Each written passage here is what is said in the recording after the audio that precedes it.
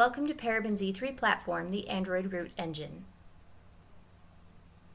The Android Root Engine was designed to allow you to get the most out of the general Android root community that is not part of digital forensics.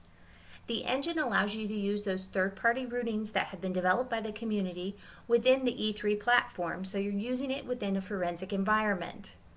Rooting has by far been one of the preferred forensic acquisition methods done with Android devices because it allows you to do the least amount of changes to the device while still allowing you the optimal amount of data. There are different sites that provide different rooting options for Android devices. These are only a few of the huge list out there that is available to you. You can reference the E3 help file for details on where you can find those different sites and different extraction options for root images that can be brought into the E3 platform. Now we'll have Edwin, the digital avatar of E3, walk you through the process. Hello, and welcome. I am Edwin, the digital avatar for Paraben's electronic evidence examiner platform. In this video, we will obtain privileged access to an Android device using the E3 root engine. Launch E3 and connect the device for rooting. Then click Root Engine Device. In the Root Engine wizard, select the device to be rooted, and click Start. When the Allow USB debugging message appears on the device, tap OK to continue. The Root Engine utility predefines recommended rooting parameters for the selected device. To set the rooting parameters manually, select this option. You can use the link to view more information about each parameter. Click Continue.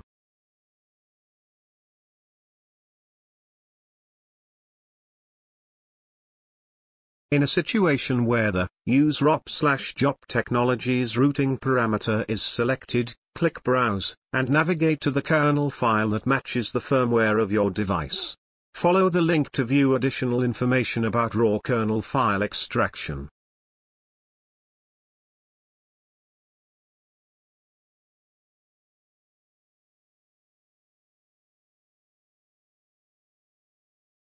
Click Continue.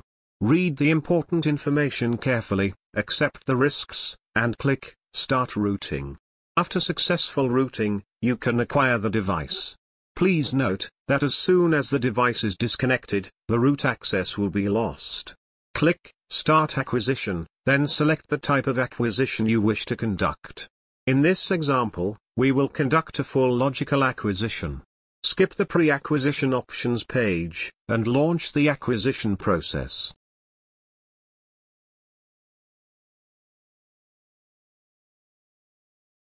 When the acquisition process is complete, click Finish. The acquired data is added to the case, and your evidence is now ready for analysis.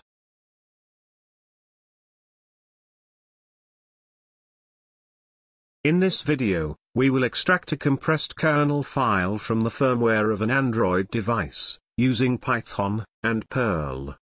Begin by downloading Python and Active Perl installers from trusted sources. Install them according to the instructions. Please note, that you can find the links to the required tools in the instructions for kernel file extraction in the E3 root engine wizard. Once this is complete, ensure that the folder contains the firmware, binwalk, and busybox tools, as well as the Perl script.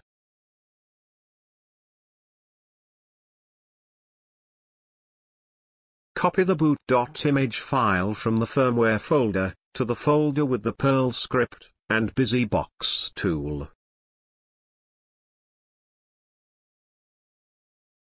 Next, open a command prompt. In the command prompt, type the cd command and the slash d switch.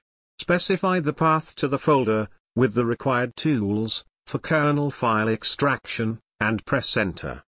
Next, you will unpack the boot.image file using the Perl script. To do this, type the Perl script name, and the boot.image name, and press enter. This action results in an boot.image kernel file. Next, you can analyze the boot.image kernel file, using the binwalk tool, to determine if the file is compressed, or uncompressed. Enter the full path to the binwalk tool, then type the boot.image kernel file name, and press enter. As you can see, this boot.image kernel file is compressed, with an offset of 16495. To extract the file with the offset, you can use the BusyBox tool. Specify the full path to the BusyBox tool, and type the command as shown on the screen. In this command, skip is the offset, and boot.imagekernel.raw is the name of the file, with the offset. Press enter.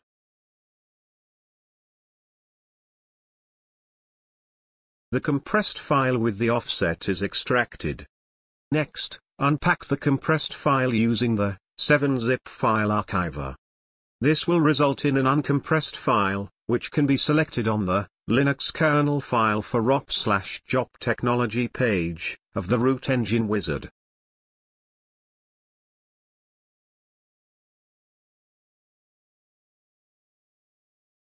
In this video, we will obtain privileged access to an Android device using the E3 Root Engine.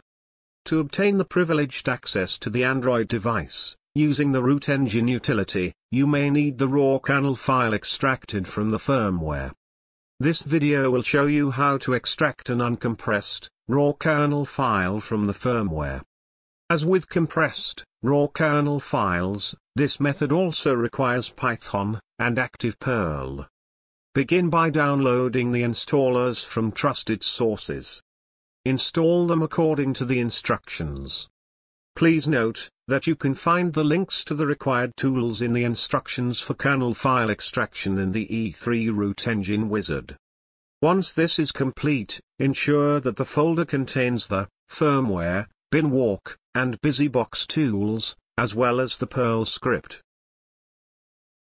Copy the boot.image file from the firmware folder, to the folder with the Perl script, and busybox tool. Next, open a command prompt. In the command prompt, type the cd command and the slash d switch. Specify the path to the folder, with the required tools, for kernel file extraction, and press enter. Next, you will unpack the boot.image file using the Perl script. To do this, type the Perl script name, and the boot.image name, and press enter. This action results in an boot.image kernel file.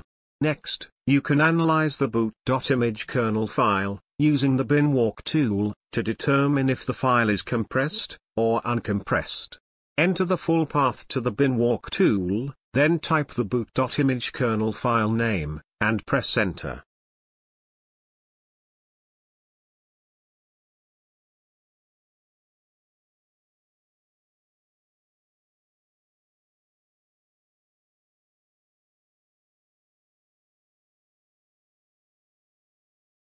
As you can see, this boot.image kernel file is uncompressed. Now, you can select this boot.image kernel file on the Linux kernel file for ROP slash JOP technology page of the Root Engine Wizard.